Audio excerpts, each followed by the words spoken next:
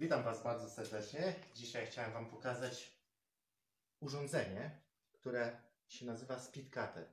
Bardzo często widzimy zdjęcia urządzenia, ale nie do końca wiemy, czym ono jest i do czego służy. Jednym słowem, jest to uniwersalny przyrząd do cięcia szkła. Za pomocą tego przyrządu oszczędzamy czas, pomijamy błędy i potrafimy bardzo szybko przyspieszyć pracę przy cięciu formatek.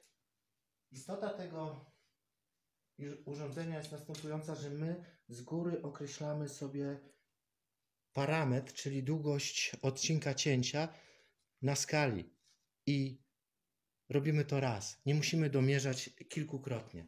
Poprzez nastawienie tego speedcuttera, oparciu go o krawędź szkła, jesteśmy w stanie bardzo szybko i przy pomocy jednego ruchu przeciąć szkło. Tym samym nasze formatki zawsze będą idealne. Nie musimy domierzać, nie ucieknie nam na końcu, nie potrzebujemy drugiego szklarza, żeby przeciąć takie, takie szkło. Jeżeli mamy kilkanaście formatek do przecięcia, zyskujemy tylko tym, że oszczędzamy czas pomijamy błędy. Tak więc speedcutter, urządzenie do cięcia pasów, eliminuje nam potrzebę drugiego szklarza, eliminuje nam potrzebę domierzania i używania kątownika.